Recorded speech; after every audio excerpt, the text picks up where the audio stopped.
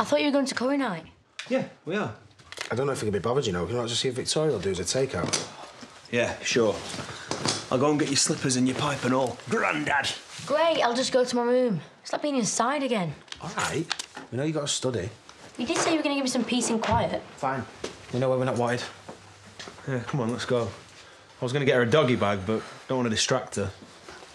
Take it easy. Enjoy.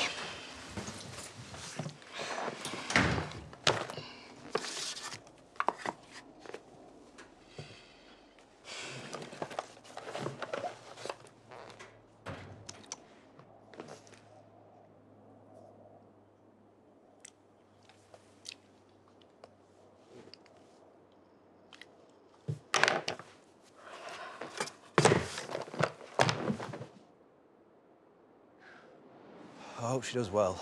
I hope she does really well. And maybe me and you can pack it in and be kept in lives of luxury. I think we're a few years off that, yeah. right.